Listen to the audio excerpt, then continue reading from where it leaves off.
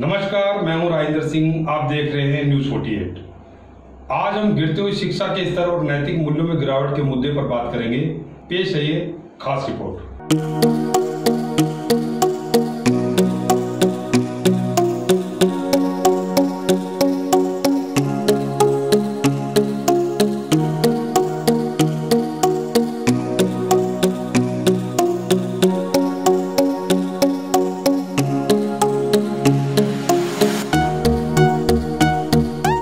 शिक्षा के स्तर को कैसे सुधारा जाए और नैतिक मूल्य में गिरावट का जिम्मेदार कौन के मुद्दे पर स्कूल संचालकों और शिक्षाविदों से आइए दिखाते की गई बातचीत।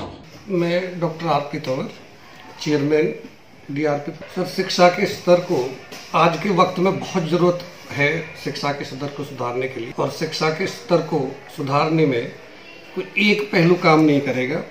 इसमें पेरेंट्स भी, इसमें हमारे स्कूल के जितने भी तत्व हैं, या हमारे सरकार सभी को इसमें सहभागिता बहुत ज़रूरी है, तभी जाके शिक्षा के संदर्भ में सुधार आ सकता है। तीनों इसके लिए जिम्मेदार मैं बराबरी से मानता हूँ। स्कूल में बच्चा जब आता है, उससे पहले वो चार पाँच साल पेरेंट्स के पास होता है। घर में जैसे संस्कार मिलते हैं, जैसा माहौल मिलता है, उसको लेके वो विद्यालय में आता है। विद्यालय में भी आजकल देखा गया है कि सभी तरह के घटनाएँ आपको मिल जाती हैं, जो शर्मसार करने वाले भी होते हैं। विद्यालय का एक अच्छा जो आज का टीचर है, वो कल का स्टूडेंट था। और इसमें सरकार का, के द्वारा जो पैदा की हुई ऐसे माहौल है, वो भी तीनों जिम्मेदार है। तो मैं सभी को जिम्मेदार मानता हूँ। ये आठवीं क्लास से ऊपर लागू करना चाहिए। अगर आठवीं क्लास से हम नीचे लागू करेंगे तो वो बच्चे उसकी तरफ़ आकर्षित दूसरे ढंग से होंगे। क्योंकि उनमें एनालिसिस पावर इतनी नहीं होती जितनी आठवीं क्लास से ऊपर ऊपर के बच्चे में होती है। सर, मैं इससे पार्शल सहमत ये जो आपने जो क्वेश्चन रखा है, वास्तव में है, सच्चाई भी है, लेकिन ये शहरों तक, बड़े शहरों तक सीमित है।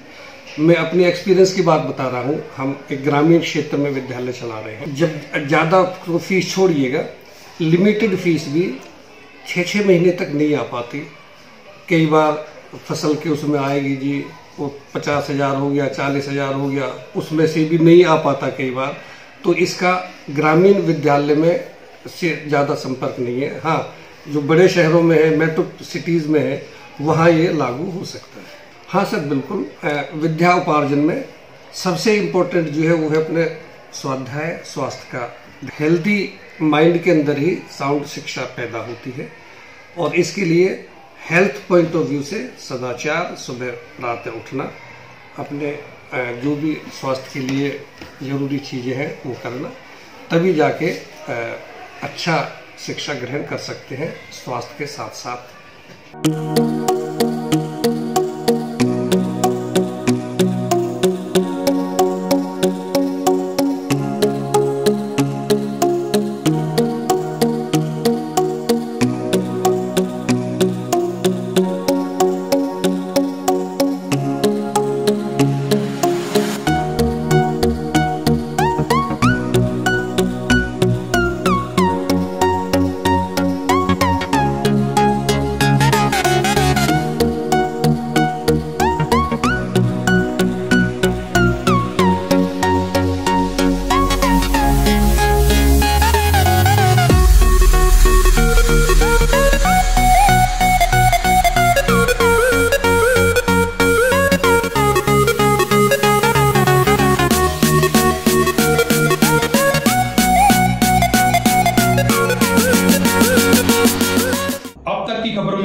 अब करिए न्यूज़ 48